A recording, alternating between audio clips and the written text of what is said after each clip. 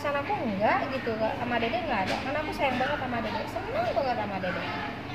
Sampai aku menobatkan dia itu eh, pantas gitu eh, untuk nanti ke depannya menggantikan ratu dangdut gitu kan. Karena eh, bukan berarti eh, Tiara merendahkan Umi ya. Enggak Hmm. itu bukan. Namanya kan generasi ya? adanya betul. Jadi kayak penerus lah gitu ada penerusnya. Jadi uh, Dede Lesti itu emang layak gitu emang layak banget. Karena dia satu attitude-nya bagus anaknya rendah hati nggak nggak sombong dia nggak gimana gitu. Pokoknya aku salut deh sama Dede. Kalau hadiah masih aku simpan di rumah masih ada. Jadi eh, emang banyak tuh yang netizen yang bilang kenapa sih oh, em, Tiara Malen ngasih duitnya kok harus ke Dede Lesti? Nih ini satu ya. Ke Dede Lesti ini aku jawab. Kenapa? Nggak ha- harus ke Dede Lesti. Kalau aku ngasih ke rezeki sama orang yang solehah ya insya Allah doanya itu pasti yakin dia mendoakan aku gitu kan. Mendoakan orang insya Allah doanya itu bakal dikabul gitu kan. Maksud aku tujuan aku ke situ terus aku satu emang salut banget dengan perjuangannya Dede Hmm. gitu.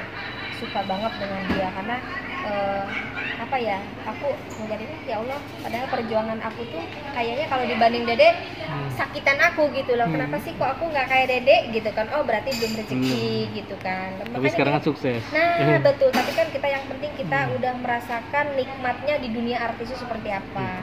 Diundang gede kita juga pernah gitu kan. Ya dihina sama orang kita pernah gitu kan. Ya, kita mah di bawah happy happy aja nggak masalah. Kalau netizen kan nggak tahu perjalanan di dunia artis itu seperti apa gitu.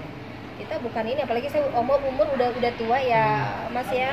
Buat apa juga, apalagi terus kita juga sama udah sukses kok gitu. Buat apa kalau kita mau pansos pansos yang nggak jelas nih ya?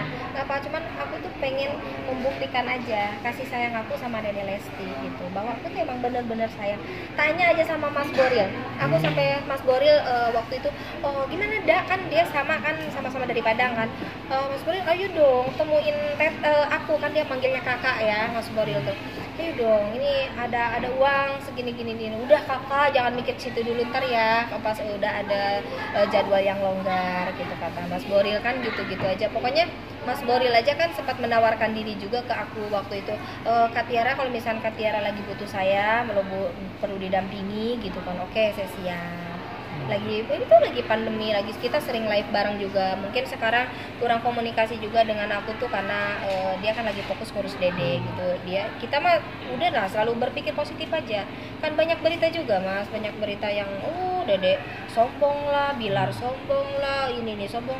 Sebenarnya sih enggak. Karena mereka itu eh, apa ya sibuk gitu loh sibuk. Terus apalagi namanya mereka itu eh ya lagi Iya, lagi di atas. nomor satu lah Hmm. ya mereka tuh nomor